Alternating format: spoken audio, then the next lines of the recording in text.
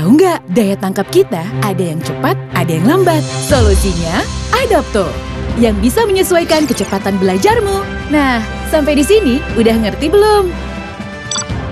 Kalau udah ngerti, kita lanjut. Kalau belum, kita akan jelasin lagi sampai kamu benar-benar ngerti. Jadi, cepat atau lambat daya tangkapmu, fitur Adapto di ruang guru siap membantu.